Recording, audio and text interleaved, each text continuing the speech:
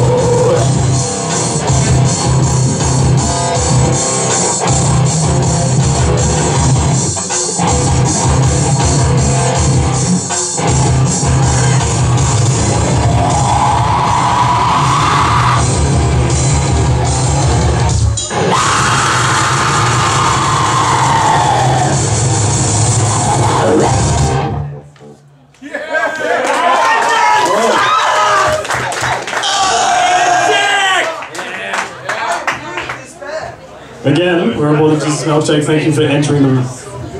That's not called for, bro. Oh, that's rude. That's what that was. Someone get this guy